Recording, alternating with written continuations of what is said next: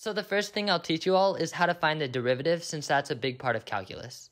So the derivative of y becomes y prime, and then over here you multiply the exponent by the number in front of x, so that's 10x, and then you subtract 1 from the exponent, so that's just 1.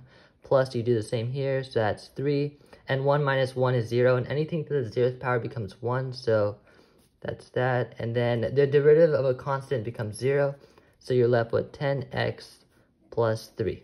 So that's literally half a semester of calculus. The other half is finding the integral, which is also called the antiderivative.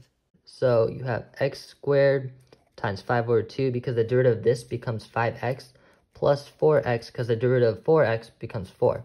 And instead of squiggly, now you got a solid line, 0 to 2, plug in 2, squared 5 over 2 plus 4 times 2, minus, plug in 0, 0 plus 0, and you're left with 20 over 2 plus 8 plus 18. And that is basically one year's worth of calculus.